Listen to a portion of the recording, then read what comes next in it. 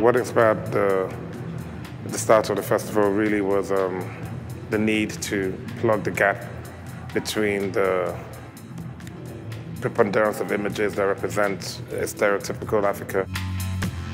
The fact that a lot of photographers come here to work here and produce amazing work, but we never get to see this work shown on the continent. We see the work shown in various exhibitions and festivals all across the world, but never seen in um, Nigeria in, in Africa.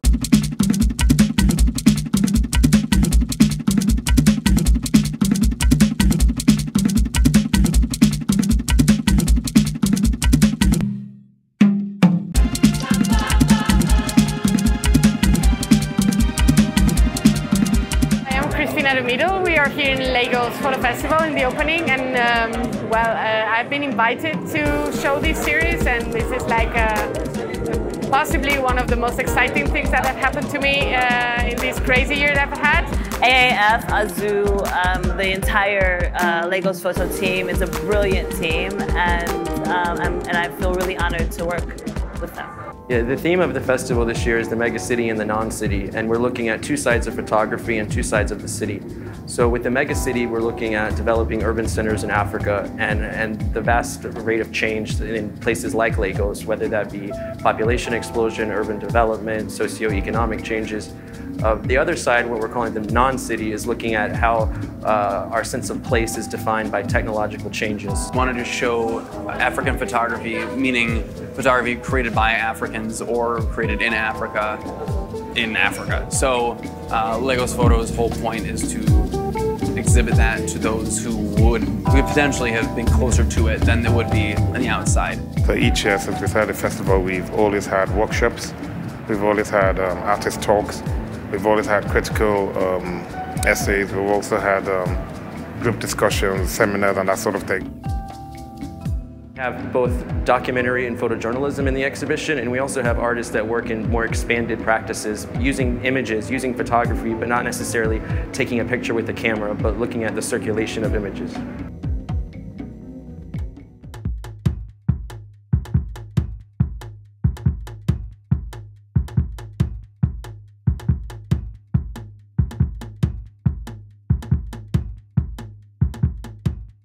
The Lagos Photo Festival is the first and only um, festival of photography here in Nigeria. And this is our fourth year. I think in the four years we've had incredible growth in terms of content and attendance and also um, ownership. From inception, we've been supported by Etisalat Nigeria as well as Eko Hotel and Suites. They are our title sponsors. The Lagos Photo Gala was um, started was created based last year. It was initially the Lagos Photo fundraiser, and this year it became the Lagos Photo Gala. Now, what Lagos Photo is trying to do is basically create an avenue using works from Lagos Photo and have had some kind of relationship with Lagos Photo to raise funds for the foundation, which ultimately supports photography.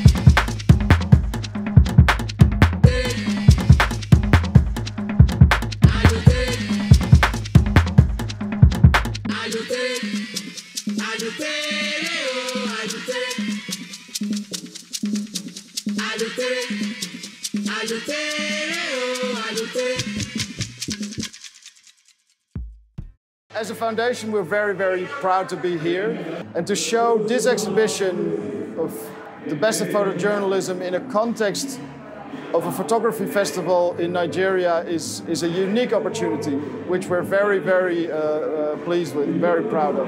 Big pride that you, you have won a World Press Award. It's like winning a Nobel laureate. Because, but it's not well known in Nigeria, but it's coming because it's coming means that, you know, it's going to be part of the revolution that is going on in Nigeria, in photographic industry in Nigeria now.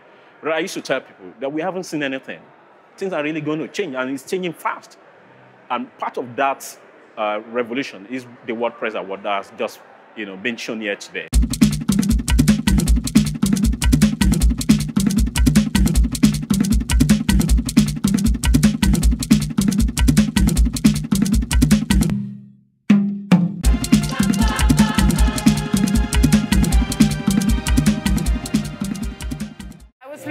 Weird experiments and uh, incredible stories. And that is, well, uh, doing this research on, on Google, I found the list of the 10 most crazy experiments in history. And the first one on the list was the Zambian space program. It was a link to an interview that uh, Reuters was doing to the leader of the project. And uh, he was explaining how he was, he was training a group of astronauts. And he, there was some images that are, were, were like very intentionally um, I mean, they were made basically to make fun of these people, and I thought it was like, okay, they're not getting the big thing here behind. That is, there is people who actually think they can go to the moon, and that is something universal. And I thought it was really worth giving it a try and um, try to document this positive thing that the dream that everybody can have to go to the moon, despite if you're an African or you're an American and work for NASA. I'm participating here at the Lagos Photo Festival with uh, my work, The Plantation Boy, which has to do with identity.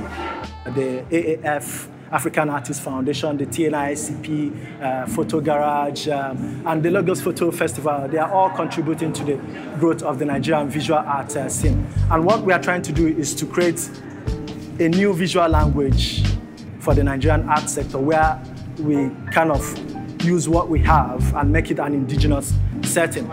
One photograph, actually there are two photographs of Lagos in, uh, in, in, my uh, part of this exhibition. Uh, one is one photograph is, uh, uh, is the, the, parking lot in uh, Jankara Market, which is a very surprising place for me because you see the, the, that the, par, the car is more powerful than the, than the people. Uh, the car takes most of the space uh, of the urban space and the market is pushed to the alleys of the city. I, I like places that become unfunctional, where, there's, where the city stands still for, for a while. Because I was really trying to protest this reductive gaze of, uh, of Africa, um, this reductive um, uh, notion of certain ideas that are associated with the continent that are particularly negative. Um, and I wanted to protest them, and I'm protesting them with my nudity. I'm protesting them uh, because I think that it's also strange how uh, we have this seductive relationship to violence, and we're particularly interested in seeing Africa and African bodies or black bodies um, in a particular light um, that is generally negative.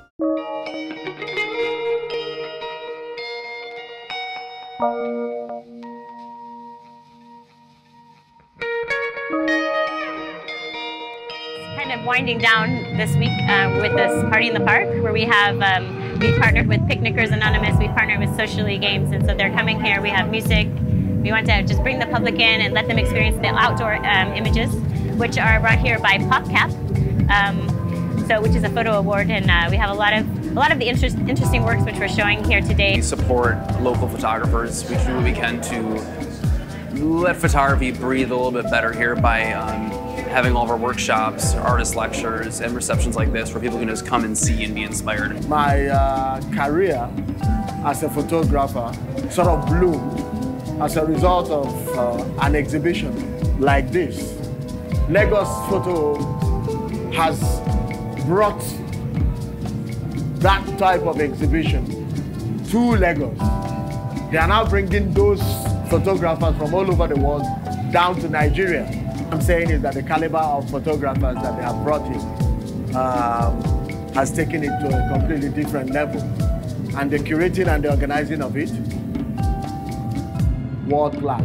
We have Martin Parr here this year, who's um, a very, very wonderful, world-renowned photographer as well. I'm impressed by the festival. It's a small festival, but quite good quality work uh, with lots of uh, uh, people from uh, all over the world who've taken pictures not only in Nigeria but in Africa and of course you also get to see some Nigerian photographers too. So I think it's a good healthy mix uh, and I encourage what they do. I hope they go from strength to strength.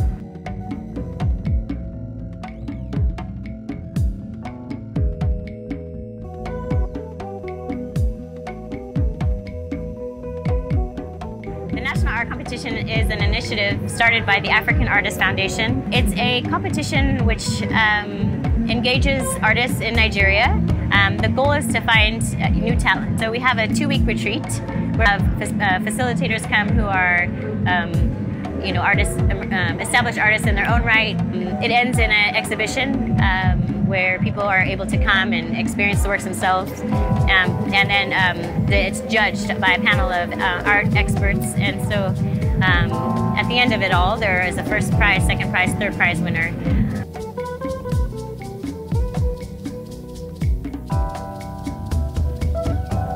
In addition to the cash prize, they're allowed the opportunity to exhibit their works in a solo exhibition. So it really offered the opportunity to have kind of a springboard and, and kind of jumpstart um, their career. My name is Seisu Yado. I feel, I still can't believe I've won. So I'm feeling tremendously elated, excited. Um, I'm full of disbelief. I cannot believe I've won, but I feel honored more than anything and um, overwhelmed. My piece is called Identitrees and I'm talking about trees of identity in the information age. So for a very long time, Nigeria has been spoken about and depicted, but through telecommunications, the information age has enabled us to be able to express our identity in our own words, tell our own story for the very first time in history. I'm exploring the symbols of this change and I looked at the motifs of the cityscape, which were the trees. These were broadcasting masts, billboards, and electricity poles. So I formed these trees as symbols of the information age and how identity is both informed and expressed through them. Contemporary visual culture today is um, the biggest thing there is. And by that I mean um, um, people are becoming increasingly, increasingly more literate about images. And so, whereas maybe 20 years ago, 15 years ago, 10 years ago, an image probably didn't communicate as much as it does as it will today. Today, everyone understands photography somewhat. Everyone has a phone. Everyone has uh, Instagram, uh, Facebook. All of these um, various social media are strongly based on images, and images are really the currency of communication today whether be it in advertising, be it in literature, where you have to use strong imagery and text to communicate the color of the text.